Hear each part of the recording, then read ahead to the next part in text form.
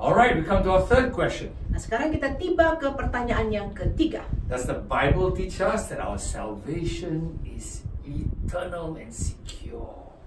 Apakah Alkitab mengatakan bahwa keselamatan kita itu aman dan sifatnya kekal selama-lamanya? There are so many verses that teach us this. Oh, banyak sekali ayat-ayat yang mengajarkan hal ini. Let's just take the most popular verse for almost every.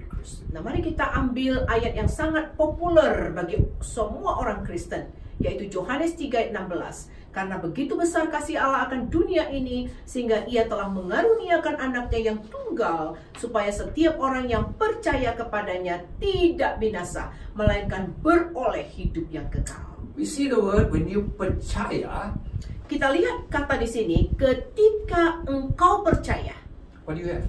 apa yang kita peroleh? You have hidup yang kekal. Kita dikatakan beroleh hidup yang kekal. So the day I received Jesus, Jadi pada hari saya menerima Yesus, the moment I received Jesus, pada detik saya terima Yesus, what did I get? apa yang saya dapatkan? Hidup yang kekal. Hidup yang kekal. Can you lose something that is everlasting? Bisa tidak kita kehilangan sesuatu yang kita terima sifatnya kekal? I mean, if I say, hey, I give you this ticket, huh? It is anytime you can use this ticket to masuk this uh, this uh, place. Nah, coba saya berikan ilustrasi. Saya kasihkan satu tiket. Kapan saja kau bisa pakai tiket ini untuk masuk ke satu tempat? Anytime. Kapan saja. Forever. Selama-lamanya. And then one year later I go. Kemudian satu tahun kemudian saya pergi. The man said, eh, sudah expire. Orang itu berkata, eh ini udah kadaluarsa. I thought you said it can last forever. Eh, tapi kan kau bilang tahan selama-lamanya. You're a liar. Berarti kau bohong. You know, many people in life, they bohong. Nah, banyak sekali orang-orang di dalam hidupnya berbohong. Guarantee for life, tapi bukan life. Digaransi untuk selama-lamanya, tapi tidak untuk selamanya. Is God like that? Apakah Allah seperti God said you itu? believe. Allah berkata, jika kau percaya, You believe what Jesus did on the cross? kau percaya apa yang dilakukan Yesus di kayu salib, You believe He died for all your sins? kau percaya apa yang dilakukannya bahwa dia mati untuk semua dosamu, Past sins, present sins, dosamu dulu, dosamu sekarang, dosamu nanti, You believe He said lunas? kau percaya dia berkata lunas, You believe He rose from the dead? kau percaya dia bangkit dari Yeah, I kubur? believe. Ya, saya percaya. Then what do you have? Kemudian If you truly kita believe, beroleh apa? Kalau kita betul-betul percaya apa janji Allah? Hidup yang kekal. Janjinya adalah hidup yang kekal. If you can lose it, Kalau kita bisa kehilangan janji itu, ya Tuhan itu pembohong He said raksasa. you give me hidup yang kekal when I believe. Kau bilang kau akan memberikan hidup yang kekal ketika aku percaya. And then after I sin, Nah, kemudian setelah saya berbuat dosa, then God.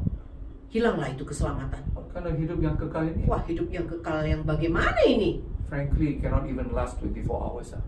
Jujur, kita bahkan hidup yang kekal itu tidak bisa bertahan sampai 24 jam. When you receive Jesus, Ketika kita terima I Yesus, guarantee within within 24 hours saya yakinkan, saya pastikan dalam waktu 24 jam pasti saudara sudah berdosa lagi. head. Di dalam otak kita ini, Maybe you have bad thoughts. mungkin kita punya pikiran yang uh, tidak bagus tentang orang lain, Maybe in your heart, atau mungkin dalam hati kita anger with someone you should kita punya rasa marah terhadap seseorang yang seharusnya tidak perlu kita marah, Maybe in your words. atau mungkin dalam perkataan mulut kita.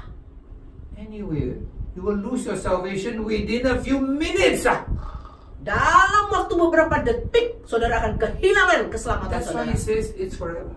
Karena itulah dikatakan hidup yang kekal selama-lamanya. That's why in John chapter 3, our favorite chapter, Karena itulah di Yohanes 3 ayat 16 ayat favorit kita he uses the word born, born, born. dikatakan berkali-kali perkataan kau dilahirkan kembali, dilahirkan. Because that cannot be unborn. Karena kalau sudah dilahirkan tidak bisa dibatalkan untuk tidak dilahirkan. Okay, let's see another verse. Nah, kita lihat ayat yang berikutnya, 1 Yohanes 5 ayat 11. Dan inilah kesaksian itu, Allah telah mengaruniakan hidup yang kekal kepada kita dan hidup itu ada di dalam anaknya. The lies means he's already given you. His telah means he's No. already given you. Telah di situ adalah dia sudah memberikan hidup yang kekal. It's in your hands. Sudah di tangan kita. He's given you. Diberikannya. What's in your hands? Apa yang di tangan kita ini? Eternal life. Hidup yang kekal. How long is eternal life? Berapa panjang hidup yang kekal 50 ini? years? Apakah 50 tahun? 50 minutes? Atau 50 menit? 50 million years? Atau 50 ribu tahun? Semua salah. Salah itu semuanya. It's eternal.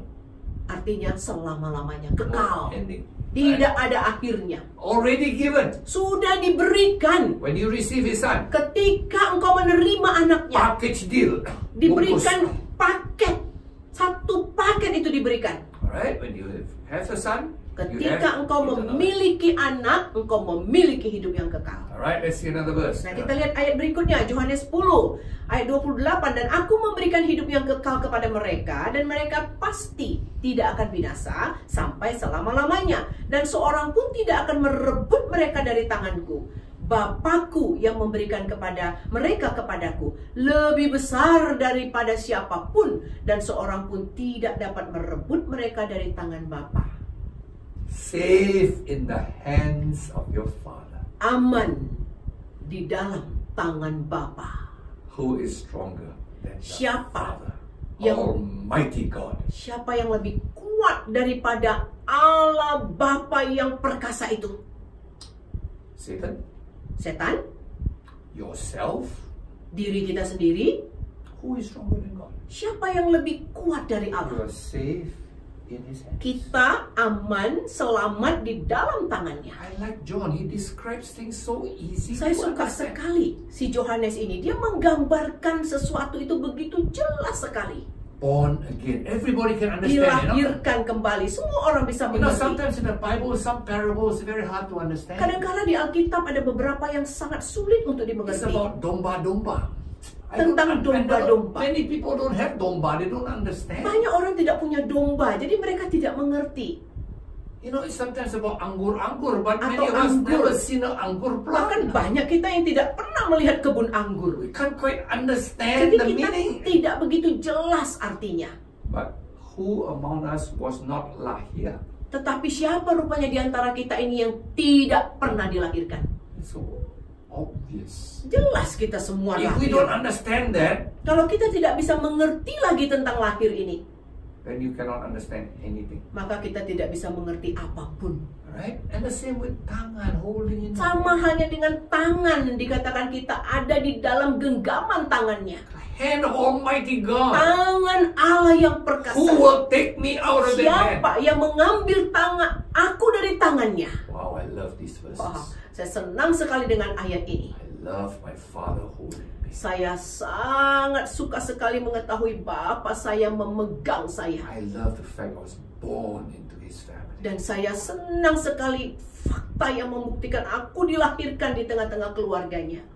Let's see another verse. Nah, kita lihat ayat berikutnya. Filipi 1 ayat 6. Akan hal ini aku yakin sepenuhnya, yaitu ia yang memulai pekerjaan yang baik di antara kamu akan meneruskannya sampai pada akhirnya pada hari Kristus Yesus. Wow, I like that. Wah, saya suka sekali ayat ini. When God begins that work in your heart, Ketika Allah memulai bekerja di dalam hati saudara to turn from your sins, untuk berbalik dari dosa, to look at the cross. kemudian kita melihat kepada salib itu. When God began that work, Ketika Allah memulai pekerjaan itu, I am confident saya yakin sekali that He began that work, Dia yang sudah memulai pekerjaan baik itu will perform it dan Dia akan meneruskannya right until the day of the Lord. sampai pada akhir hari Kristus Yesus. When I will see Him face to face. Ketika saya melihat Dia muka dengan muka. My salvation Keselamatan saya is not from my effort. bukan dari usaha saya. Thank God for that. Wah, puji Tuhan untuk ini.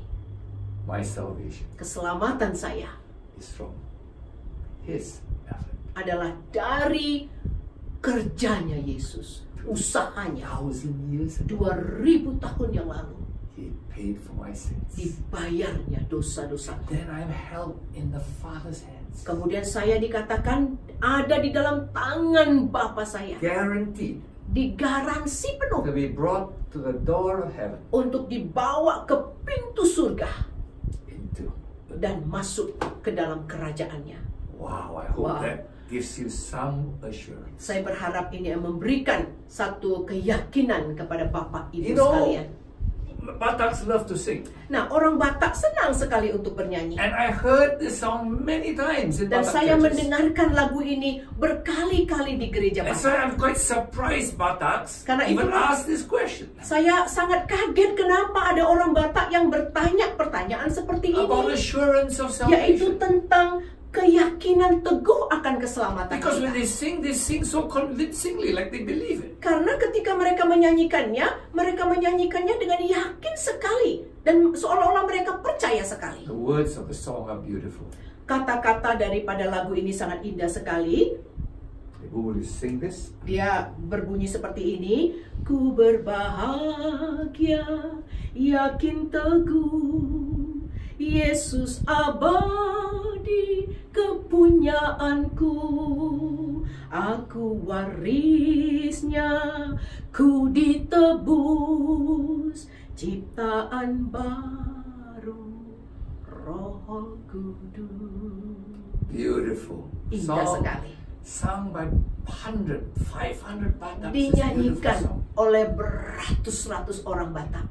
I wish they really understood. Saya berharap mereka betul-betul mengerti There's insurance sold by companies. bahwa ada asuransi yang dijual oleh perusahaan. There's guarantees given by people. Itu adalah garansi yang diberikan oleh manusia. But there is assurance Tetapi God. ada keyakinan teguh garansi From dari Allah. said, Dari anaknya yang berkata lunas. Yang bangkit dari antara orang mati. From the Word of God. Dari firman Allah. Wow. Wah, We should all be singing this song kita seharusnya bernyanyi lagu ini with the confidence dengan keyakinan teguh that there is assurance of salvation. bahwa ada keyakinan teguh atas keselamatan kita. I hope that answers our question. Saya berharap pertanyaan ini tadi sudah terjawab.